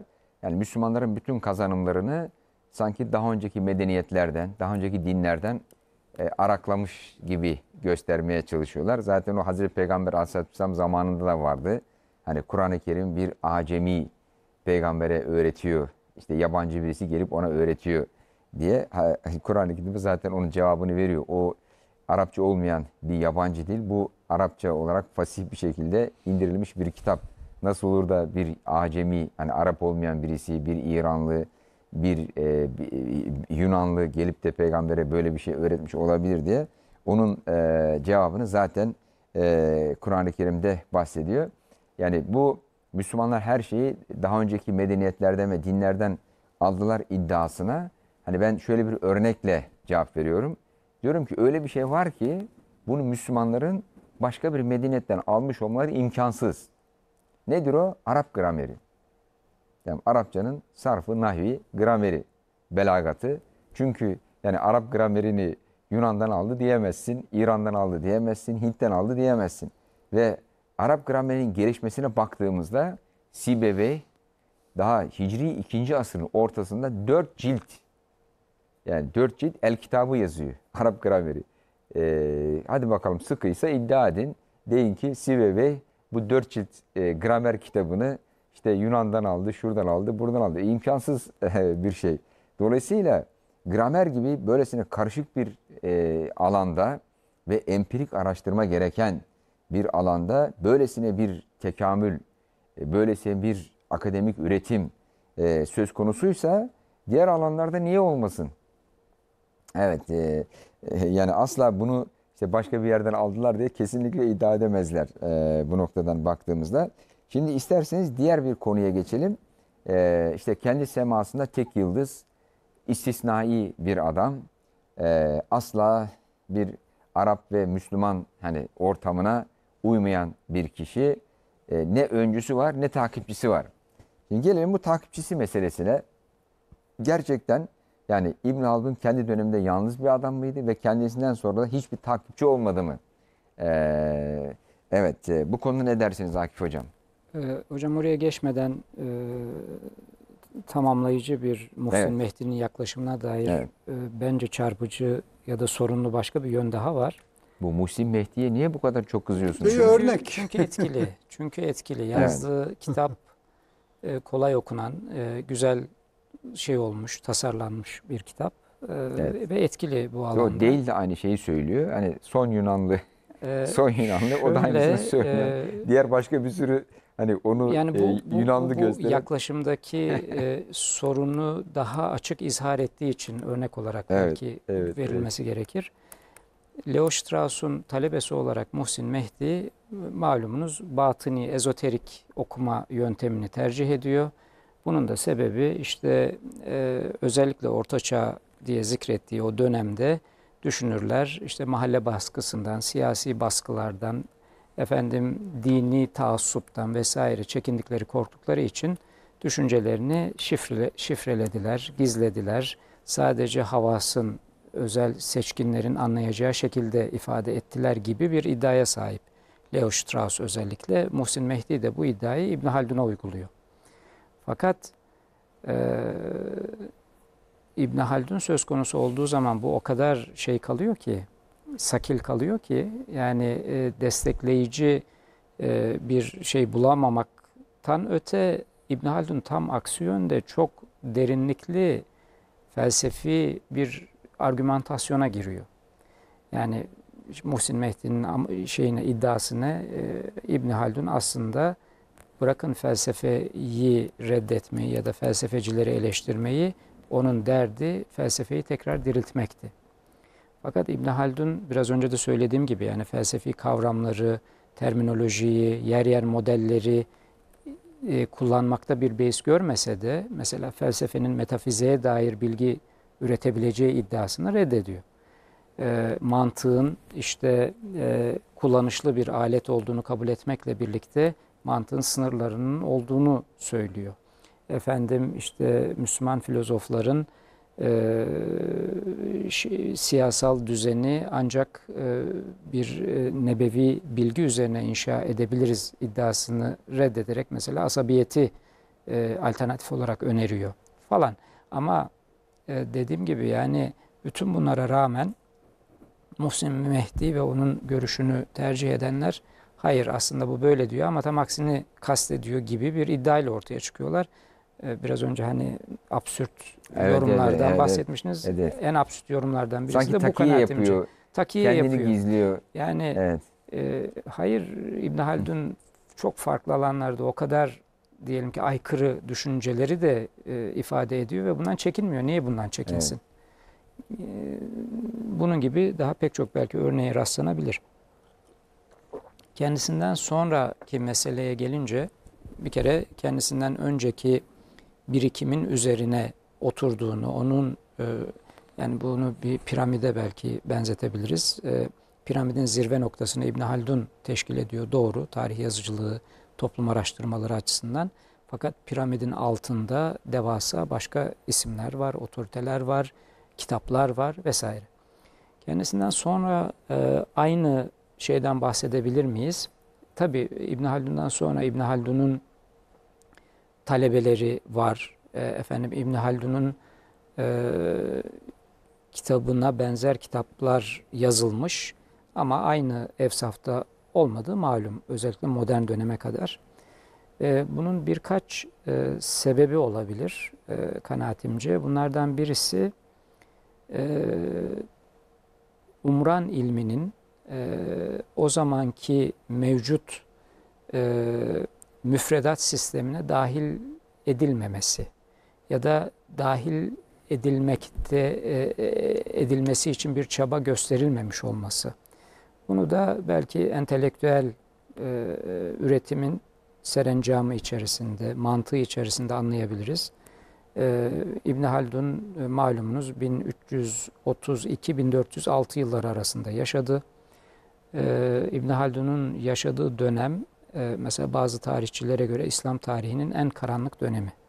1300 ila 1450 arası e, işte e, Hrist, e, Haçlı seferleri ardından Moğol istilası, e, Abbasi hilafetinin ortadan kalkması, siyasi fragmentasyon, ayrışma, efendim toplumsal Osmanlı'nın kuruluş dönemi hocam. ciddi sıkıntılar fakat Osmanlı henüz kendini tam gösterememiş. Yani 1450'ye kadar yani arada 150 yıllık Osmanlı kuruluşu var. Balkanlarda bir sürü fetihler gerçekleşiyor. İşte bu tarihçiler mesela Marshall Hudson muhtemelen İstanbul'un fethiyle birlikte Osmanlı'nın bir şey yaptığını yani Osmanlı düşünüyor. ama Osmanlı'nın fethine kadar Balkanları fethetmiş adamlar. Yani en yani. azından şunu söyleyebiliriz. Yani İbn Haldun açısından Osmanlı henüz daha e, o beklediği büyük atılımı yapmış değil. Evet.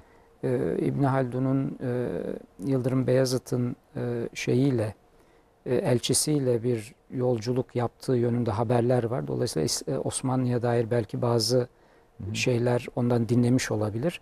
Fakat e, çok fazla zikretmiyor. Kitabında Tabii yok. Şimdi İbn Haldun Osmanlı zikredip bunu- ayrı bir şunu şey ama yani bu dönem İslam tarihinin en karanlık dönemiydi demek ayrı bir şey. Mesela Orta Asya'da Timur büyük bir imparatorluk kuruyor. Büyük bir atılım gerçekleşiyor. Mimaride, sanatta, e, Ama işte ilimde. hocam onlar biraz daha geç bir dönemde. Yani e, Yok İbn Haldun Timur'la aynı dönemde Mesela- yaşamış insan yani. ama Timur yakıp yıkan bir adam aynı zamanda. Yani e, sadece Kur'an değil. e, Yok, ama aynı zamanda yapan baş- adam yani. başlıyor. İşte Hani Ankara Savaş savaşlarda Osmanlı ile savaşmış Yani, ama e, aynı zamanda evet. hani eğer Orta Asya'ya giderseniz mesela yani Timur'un yani büyük bir e, devlet adamı ve e, ciddi e, projeleri var. Hem mimaride Ha, onu- hem diğer e, zaten hani şöyle İslam evet. dünyasını bir bütün olarak hani e, baktığımızda belki o esnada hani e, işte Mısır'da sıkıntılı bir dönem Kuzey başka bir şey falan olabilir yani ama bütün olarak bak bir taraftan kara, kara yani veba Osmanlı gelmiş. üzerinden Balkanlara doğru bir genişleme var. Orta Asya'da yani büyük bir e. Devleti var kuzey taraflarında. Şimdi biz Evet. tabii tarihin geri kalan kısmını da bildiğimiz için daha uzun perspektifli düşünebiliyoruz ama o zaman e, o e, dönemin içinde yaşayan insanlar için kanaatimce bu henüz daha e, çok ümit var olmak için erken bir dönemdi. Yani İbn Haldun'un bu kendi buradaki- yazıları da bunu Akif gösteriyor Hocam zaten. iki şeyi belki burada birbirinden ayırmak lazım. Şimdi İbn Haldun e, diyelim gelecekle alakalı e, ne gibi umutları vardı? Bu ayrı bir şey. İbn Haldun'un e, eserinin e, makbu yani kabul görüp görmediği, bilinip bilinmediği, takipçilerin olup olmadığı. Şimdi mesele bu bununla alakalı ya İbn Haldun'un takipçileri var mıydı? Evet evet. Yani o, o tarafa baktığımız vakit İbn Haldun'un en büyük takipçisi zaten talebeleri. Mesela Makrizi onlardan birisi. Şimdi Makrizi'nin İbn Haldun'la alakalı ifadesi o kadar ilginç bir ifade ki ben e, gerçekten İbn Haldun'la alakalı bir sürü e, metin e, gördüm, okudum. E, İbn Haldun'un Makrizi kadar güzel ifadelerine rastlamadım. Onun e, eserinin yerini söyleyeyim. E, bu şeyin Durarul Ukut Dürelül Ukudul Feride fi teracimi ayanil müfide diye bir şeyi var. E, Bir eseri var. Bunun ikinci cildinin 2002'deki baskısının 403. sayfasında e, şey yaptığı şöyle bir ifadesi var. Diyor ki mukaddimesinin benzeri yazılmamıştır. Makrizi söylüyor bunu. Şeyin talebesi aynı zamanda. E, İbn Haldun'un talebesi. Bu eser gayretle ulaşılacak bir eser değildir. Çünkü o marifetlerin ve ilimlerin özü, zübdesi. Selim akılların ve anlayışların neticesidir. Yani aklı ve anlama kabiliyetini kullanmanın bir sonucu. Şeylerin künhüne dayanır. Şeyler dediği bütün mevcudat anlamında zaten. Onu zaten şeyler diye Türkçe tercüme etmemek lazım hocam. Ha eşyanın Eşya diyor. da Ha, demek yanlış yani. Varlığın diyeceğiz ha, yani. Var olanların evet Çünkü künhüne eşya dayanır. deyince mobilya Evet. anlıyor Ha, millet. bak doğru. Olayların ve haberlerin hakikatini bildirir. Varlığın halini dile getirir. Her mevcudun aslını bildirir. Dizilmiş inci tanelerinden daha güzel ve nesimin uğradığı sudan daha latif bir şekilde ifade eder ifade ettiklerini. Şimdi Makrizi e, kendisi talebesi hocasının ne yaptığının o kadar farkında ki. Tabii ki Sahavi'yi de örnek Evet, verebiliriz. tabii. Ee, Ondan sonra zaten bir sürü şeyler mesela tutup şey daha sonra e, e, bu e, Kitabı Makrezi- Tesir. Kitabı Tesir müellifi şey, e, kafiyeci mesela. Kafiyeci tutup İbn Haldun'dan da hareketle e, şeyde tarih tarih alanını e, tarih usulünü bir ilim olarak vaz etmeye teşebbüs ediyor. E, ge- gerçekten çok esaslı bir eser. Yani her ne kadar e, onun e, şeyde e, usulle alakalı eseri hem Türkçe'ye tercüme edildi. Yani tercümesinin her halükarda yeniden yapılması lazım. Yapan hocamıza tabii ki müteşekkiriz. O noktada bir şüphe yok. Fakat e, tercüme edilirken e, oradaki ıstılahlar günlük dille aktarılarak tercüme edildiği için şeyin kafiyecinin eserinin e, teorik derinliği yok olmuş vaziyette Türkçe tercümesinde. Başka Şimdi o- kimler var hocam? Talebesi, İbn Ha, Haldun işte- talebeleri. Ha İbn mesela Hacer, İbn, İbn Hacer, Hacer, var. mesela Başka bir Şimdi, talebesi İbn Hacer. e, Başka daha mesela var? önemli şeylerden birisi e, e, şey İbnül Ezrak mesela. İbnül Ezrak'ın eseri tam da İbn Haldun'un e, mukaddimesinin gerçi siyasetle alakalı bölümüne denk düşüyor. Tamamını içermiyor, ona denk değil. Ama siyasetle alakalı alanını alıyor. Kendisi çok farklı örneklerle yeniden inşa ediyor ve geliştiriyor hatta. Yani şimdi Makrezi, Sahavi, Kafiyeci, İbn Hacer, İbn Azrak. Bunlar daha o yaşadığı döneme Yani yakın o dönemin yaşayanlar. en büyük alimleri. Hocam şeyleri var, talebeleri var. Başka Zaten kimler var hocam? etmiyoruz. Ee, şimdi Osmanlı'yı da içine alsak E, aslında... oraya oraya Ha, geleceğiz. Oraya geleceğiz. ama ben daha henüz oraya gelmeden. yani di- direkt talebeleri, doğrudan kendi talebeleri olan ve hemen kendinden sonraki nesilde veya Yani iki nesilde öne çıkan isimler başka doğrusu aklıma gelmiyor benim ama Evet. mu- muhakkak vardır. Çünkü tabii. kendi hayatında mukaddime müstakil olarak e, İbn Haldun tarafından okutuluyor ve icazet de veriyor onun Oo, üzerine. Evet. O icazeti Ee, alanları bulmamız lazım hocam İşte işte. yani. İbn Hacer bunlardan biri. Evet. Ama Yani öte demek ki taraftan bak mesela İbn okutuyor, Hacer e, okutuyor, icazet Tabii, veriyor. tabii. Demek ki icazet almaya gelen talebeler var. tabii ki. Yani e, böyle ne bileyim e, hiç kimsenin takdir etmediği, Hayır asla öyle kimseye ilgi yok. duymadığı Yani kitabın kıymetinin insan değil. bilinmesi noktasında yani daha bir şey yaşadığı yok. dönemde kıymeti bilinmiş, önde gelen alimler, talebeler kitabı bizzat müellifinden okumuşlar, Tabii ki. ders olarak almışlar, onlar icazet almışlar. Dolayısıyla hani e, hiç kimsenin ilgilenmediği böyle uzlet e, halinde öyle bir şey yaşayan yok. bir insan değil. hayır, öyle bir şey yok Ee, zaten kesinlikle. Dolayısıyla hiç takipçisi yoktu. Yani demek, buradaki, e, buradaki doğru benim değil. anladığım tartışma noktası mukaddimeden yola çıkarak niçin mesela ilmi umran diye bir umran, şey, bir ilim, bir disiplin gelişmedi.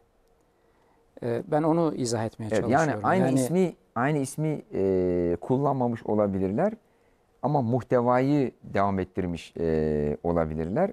E, ona da bakmak lazım. Tabii nitekim mesela Osmanlı e, ulemasının, düşünürlerinin kullandığı bir nizam-ı alem Hı hı. kavramı var. Nizam-ı aleme baktığımızda şeyde de e, Pirizade'nin tercümesinde de Hı hı. umranı bazen Pirizade Nizam-ı alem diye çeviriyor. Mesela. Evet. İsterseniz Osmanlı'ya geçelim. Ama Osmanlı'dan önce gene İbn Haldun hakkında şöyle bir yanlış var. İbn Haldun'u önce Batılılar keşfetti. Batılılar keşfettikten sonra Müslümanlar İbn Haldun'un kıymetini anladılar. Ondan sonra İbn Haldun'a ehemmiyet vermeye başladılar. Bir de böyle bir eee, iddia var. Bu iddia konusunda ne dersin Akif Hocam? E, Onu yanlışlandı. Yani e, Cornel Fleischer bu konuda müstakil bir e, makale de kaleme aldı. En azından yani en azından 16. yüzyılın sonundan itibaren e, Osmanlı müverrihleri ya da ilim adamları e, İbn Haldun'un mukaddimesini biliyorlar, aşinalar. Pek çoğu zaten onun çözümlemesinde benimsemişler. Tarihçilikte onu kullanıyorlar. Hatta başka bazı iddialara göre daha öncesinden Kınalızade'nin de içinde bulunduğu başka bir grup alimin İbn Haldun'dan istifade ettiğini e, de söylüyorlar. Fakat delillendirilmiş, ispatlanmış şeyi 16. yüzyılın sonudur. Bu 19. yüzyılın başına aşağı yukarı daha 250-300 yıl var. Yani e, 200 yıl var en azından. Dolayısıyla o zaten yanlışlanmış bir durum. Şey Şunu yani. söyleyeyim. Yani bu Döslen e, 1863 yılında e, mukaddimeyi e, Fransızca tercüme ediyor. E, yaptığından çok da emin değil. iyi yapıp yapmadığını. Ee, o vakitler kendisi anlatıyor bu bahsettiğim şimdi söyleyeceğim şeyi. Bu tercümenin baş kısmında anlatıyor. Ee, Münih'te e, bir Türkçe tercümesi olduğunu öğreniyor. Biliyor zaten. Öğreniyor derken Evet. Münih'te bir kütüphanede Yani şeyin e, Türkçe ter Pirizade'nin Türkçe tercümesini olduğunu biliyor. yani demek ki yani Türkler e, bütün Avrupalılardan önce E, tabii ki canım. Bu kitabı Türkçe'ye tercüme etmişler. E, tercüme tabii. eden kişi de sıradan birisi değil. Tabii. Kim tercüme ediyor? Şeyhülislam, Şeyhülislam. evet. Yani ilim hiyerarşisinin en tepesindeki insan e, bu kitabı Türkçe'ye tercüme ediyor. E, ve bütün Batılılardan önce bunu tercüme ediyor. bu Ve çok önemli ha- bir şey. Ve ilginç olan nokta şu zaten. Döslen yani Fransızca tercümeyi yapan şahıs e, tercümelerindeki bazı e, muhtemel hataları tahsiye etmek için Pirizade'nin tercümesini alıyor. Pirizade'nin tercümesine bakarak tahsiye ediyor matbaaya göndermeden önce. Dolayısıyla yani şunu söyleyebiliriz. E, Döslen'in e, mukaddimeyi anlaması sürecinde ve tercüme sürecindeki temel dayanaklarından, kaynaklarından birisi e, Pirizade'nin e, mukaddimeyi e, yaptığı Türkçe tercüme. Ya bunu kendisi söylüyor yani yakıştırmıyoruz yani. Yani şey e, sayfasını falan da söyleyebilirim. O eserindeki e, nerede şey yaptığını. Mesela Siz buradaki o sayfayı buluncaya kadar hocam, İlgi- Akif hocam. il- ilginç bir durum. Heh. Mesela e, Fransızcaya ya da diğer batılı dillere tercüme edildiğindeki şaşkınlık mesela Türkçe'ye tercüme edildiğinde yaşanmıyor. Yani insanlar ya ne kadar ampirik, ne kadar seküler, ne kadar efendim rasyonel gibi bir e, şey içerisine girmiyorlar, hava içerisine Tabii, girmiyorlar. Bunu gayet normal olarak değerlendiriyorlar. Evet, evet. Yani bu da bence önemli bir Bir de tabii şey. şunun altını gösterge. çizmek gerekiyor. Yani e, alimlerimiz hepsi Arapça bildiği için yani tercüme edilince ilk defa Onun hani öncesi de var e, tabii ki. okuyup anlıyorlar diye düşünmek yanlış olur. Hani önceden zaten hani Arapçasından okuyup anlıyorlar. Zaten tercümesi Arapçasından daha kolay değil. hani o da ayrı bir e, mevzu. Yani Arapça bilmeyen zaten tercümeyi de anlayamaz. E, e, do- dolayısıyla e, zaten öncesinden Arapçası biliniyor ama ehemmiyetine binaen koskoca Şeyhülislam oturuyor, vakit ayırıyor, bu kitabı tercüme ediyor. Evet, e, yani bu çok önemli bir şey. E, şu Evet. Kitabın kendisi zaten müellif e, nüshası malumunuz Atıf Efendi Kütüphanesi'nde var. E, ve o da işte Veysi tarafından Mısır'dan getiriliyor. 1590'lara falan tekabül ediyor onun gelişi Evet. yani. Ben İbn Haldun dersi verirken öğrencileri alıyordum. Süleymaniye Kütüphanesi'ne götürüyordum. Bir ritüel gibi. O İbn Haldun'un kendi imzasıyla olan ve muhtemelen kendi el yazısı. Hani ama en azından kendisi sonuna imza atıp onaylamış. İşte o kitabı getirttiriyordum. Herkes eline alıyordu, bakıyordu filan e, o şekilde ve böylece onları e, Haldunilik mezhebine dahil ediyorduk. ben espri olarak diyorum biz Hanefiyiz, Maturidiyiz ama toplum bilimde Halduni. Halduniye mezhebine mensubuz. Evet, e, diyorum. Yani dolayısıyla Osmanlı çok daha önceden e, bunu biliyordu. Bilmenin ötesinde istifade ediyordu, benimsemişlerdi modelleri. Hatta mesela biraz daha geç bir döneme geldiğimiz zaman, 19. yüzyıla geldiğimiz zaman bir meydan okuma olarak da görüyorlardı. Mesela Ahmet Cevdet Paşa e, İbni Haldun'u çok takdir etmekle birlikte ve kitabının 6. bölümünü tercüme etmekle birlikte Pirizade'nin etmediği kısmı e, evet İbni Haldun Osmanlı'yı öngörmüş, geç- geçireceği safhaları, efendim yaşayacağı hayatı büyük bir isabetle öngörmüş ama bundan sonrası için yanılmış diyor. Neden? Çünkü İbn Haldun işte devletlerin bir gün gelip yıkılacağını söylüyor. Ahmet Cevdet Paşa ise Osmanlı'nın yıkılmayacağını savunmaya çalışıyor. Yani dolayısıyla çok organik bir şey de söz konusu orada. Bir canlı bir tartışma da söz konusu. İbn Haldun'la girişilen bir tartışma da Evet, söz konusu. Tabii yani işte, e, birinci mütercimin e, Pirizade olması, ikinci mütercimin o ilk tercümeyi e, tamamlayan Ahmet Cevdet Paşa gibi yani o dönemin en önde gelen hani alimlerinden mecellenin müellifi olan e, bir zatın hani olması yani e, e, Osmanlı alimlerinin e, tarihçilerinin si- siyaset ve sosyal konularda düşünen insanların hani İbn Haldun'a ne kadar ehemmiyet verdiklerini gösteren bir şey. Bir de e, matbaa kurulunca ilk basılan kitaplardan. Yani e, mukaddime. Dolayısıyla e, yani bunu önce Batılılar keşfetti. Sonra Müslümanlar keşfetti gibi bir iddia asla ve kata şey yok. e, tarihi gerçeklerle e, uyuşmuyor. E, ama onlar gene hani bir ön yargıdan hareketle ya böylesine akıllı bir adamı Müslümanlar sevmez. Evet. Böylesine empirik bir e, kişi e, İslam dünyasında yankı bulmaz. Olsa olsa bu bir heretik, dışlanmış bir kişidir. Diğer Müslümanlar da zaten bunu görmezlikten gelmişlerdir şeklinde gene bir ön yargıyla Bu Yani- e, ilk olarak Batılılar ya da Avrupalılar keşfet iddiası da biraz önce zikrettiğim Muhammed Talbi'ye ait. evet Ondan sonra e, bu kabul ediliyor orada. Evet, evet. Ee, e, o zaman şunu sorayım. Ee, bir Osmanlı İbni Haldunculuğundan bahsedebilir miyiz? Yani siyaset düşüncesinde, tarih düşüncesinde. Mesela İbni Haldun'u, onun yaklaşımını benimseyip tarih ve siyaset, ekonomi analizlerinde e, e, kullanan e, Osmanlılar var mı? Osmanlı düşüncesi ne gibi e, etki etmiş?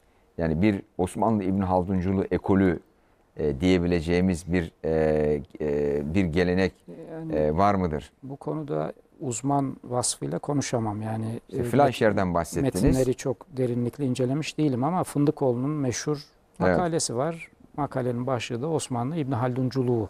Evet, şey, Evet. Fleischer, Fındıkoğlu bu ikisi e, iki tane önemli Tabii araştırma. tabii. E, Onun dışında e, Zakir Kadiri Ugan, Zeki Velidi Togan e, onlar hep İbn Haldun'a dair e, Osmanlı'daki etkilerine dair çalışmaları olmuş. E, Osman, e, Osmanlı tarihçiliği e, şimdi İbn Haldun'un kaynaklarından biri e, Tusi'dir. Her ne kadar mesela Tusi ile Fa- Fahrettin Ra- Razi arasında Fahrettin Razi'yi tutuyor olsa da Tusi'den çok büyük ölçüde etkilenmiştir İbn Haldun. Bunu yazdıklarından görüyoruz zaten. Özellikle Ahlak-ı Nasiri adlı eserinden. E, Tusi de İbn Miskeveyh'in aslında bir tür talebesi gibi görülebilir. E, Tusi'den sonra o gelenek yani felsefi ahlak geleneği işte Devvani gibi, efendim Kınalızade gibi bir çizgi üzerinden Osmanlı düşüncesine de girmiştir. Bu bakımdan e, ne kadarı İbn Haldun'dan e, alınmış e, Osmanlı düşüncesinin ne kadarı işte Tusi üzerinden, Devani ve Kınalızade üzerinden gelmiş ayırt etmek çok kolay değil. Ama en azından örtüşmeler olduğu, e, zaten Kınalızade'de de e, İbn Haldun'un etkisinden bahsedilmesinin bir nedeni de muhtemelen budur. E, e, kesinlikle İbn Haldun'un mesela e, e, döngüsel tarih anlayışı, efendim tavırlar nazariyesi e, bir devletin işte belli bir tavırları e, tavırlardan geçerek işte ömrün tamamladığı düşüncesi vesaire işte toplumun yapısı düşüncesi bütün bunlar e, İbn İşte Haldun'dan büyük adalet ölçüde dairesi, Adalet siyaset dairesi fikri, dairesi evet. e, anlayışı, e, vergiler konusundaki yaklaşım, işte sultanın ekonomiye müdahale etmemesi, ekonomik aktivitelere karışmaması yaklaşımı bunlar e, Osmanlı düşünürlerinde genel nasihatnamelerde Evet. büyük ölçüde yani hemen hemen tamamında bulunan Doğru. e, şeyler. Mesela Büyük Osmanlı tarihçi Naima hani bu ekole mensup olan e, bir insan işte bahsettiğiniz Kınalızade Adalet Dairesi'ni bizzat e, kullanan birisi ve daha e, ba- başka Tahsin Hocam sizin ilave edeceğiniz Ee, ben hemen şeyi söyleyeyim. Bu Döslen'in e, Evet, şeydeki heh. tercümesinin başında e, o giriş kısmına İbn Haldun'un hayatını yazdığı kısmın e, 113. sayfasında Hı hı. e, aynen e, söylediği şey şu. Tabi özellikle orada e, Katip Çelebi'nin e, şeyinde e, Keşf-i Zunun'unda İbn Haldun'dan bahsettiğini e, bir sürü Osmanlı düşünürlerinden falan da bahsediyor. Bahsettikten sonra e, diyor ki şeyde e, şeyin mukaddime e, ilk defa Arapça dışında bir dile Türkçe'ye tercüme edildi. Hem de e, tercüme e, tarihi e, 1730-31 yılları. E, bu ne demek? 18. yüzyılın ortası. Şimdi 18. yüzyılın ortası demek hemen hemen aynı yıllarda 1735 hatta 44'te e, Giovanni Battista Vico e, Scienza Nova'sını hazırlıyor. Yeni bilim. The New Science diye İngilizce öyle ter, Türkçe'ye tercüme, tercüme edildi. Vico'nun kitabı Yeni Bilim. Hemen hemen aynı yıllarda e, tercüme ediliyor. E, Vico'nun da e, konusu toplum. Ve e, tarih bilimi içerisinde toplumu konu ediniyor. Örneklerini e, Roma ve e, Batı tarihinden alıyor. Programın Ama- sonuna doğru yaklaşıyoruz Evet. hocam. 2-3 Şimdi- dakikada özetlersek. Ha, genel yaklaşımı itibariyle e, İbn Haldun'un yaklaşımına çok benziyor Vico'nun yaklaşımı. Hemen aynı Pirizade'nin tercümesini yaptığı yıllarda.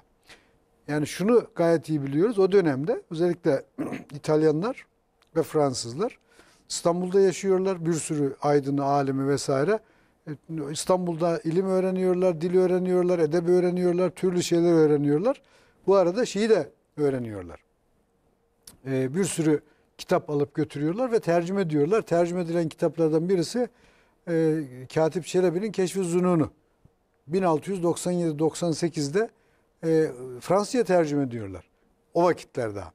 E, şimdi dolayısıyla 18. yüzyılda yapılmış olan bir tercümeyi, Pirizade'nin tercümesini e, bulup e, ondan istifade etmediklerini zannet düşünmenin bir, bir Evet. manası yok. Şu nokta çok önemli. E, e, şey Pirizade'nin tercümesinin bir nüshası Münih e, Kraliyet Kütüphanesi'nde varmış. Kendisi öyle diyor. Diyor ki e, bu şeyi de e, bu bu şeyi e, Katrimer'de idi ve bu onun şeyi e, elindeki nüsha e, şeye e, Münih'teki kütüphaneye geçti ve diyor ben e, onu aldım getirttirdim e, inceledim Pirizade'nin tercümesini ve kendi e, tercümemi tahsiye ettim diyor. Yani şimdi dolayısıyla şimdi e, ne biçim iddia yani mukaddime ilk defa biz e, keşfettik. E, daha önce mukaddime hiç bilinmiyordu falan. Yani e, o onunla alakalı olarak Osmanlı dünyasında e, mukaddime ile bağlantılı e, onu e, ayrıca biraz daha konuşalım Evet, bence. aslında Osmanlı e, İbn Haldunculuğu yani e, çok e, e, derinlemesine, enine boyuna ele alınması gereken e, bir e, konu ama şu konuda eminiz işte Fleischer'in, Fındıkoğlu'nun ve diğer e, e, şey e, e, e, alimlerin hani ortaya koyduğu gibi e, Kınalızade'de olsun, Naima'da olsun, Katip Çelebi'de olsun ve diğer birçok e, insanda Ejder okumuşun da onunla alakalı işte, he, müstakil tabii, bir kitap müstakil, çalışması e, var. Evet. Kitabı var. Yani e, böyle bir yani İbn Haldunculuk ekolü olduğu e, malum. E, evet kıymetli seyirciler e, bu programımızda e, yanlış İbn Haldun yorumları e, konusunu ele aldık. E, özellikle Batı'da ve modern Müslümanlar arasında Batı'dan etkilenerek e, İbn Haldun'u tanımaya çalışan veya Batı üzerinden İbn Haldun'u tanımaya çalışanların çalışmalarında bunu görmüş olduk. E, bir dahaki programımıza kadar sağlıcakla kalın, Allah'a emanet olun.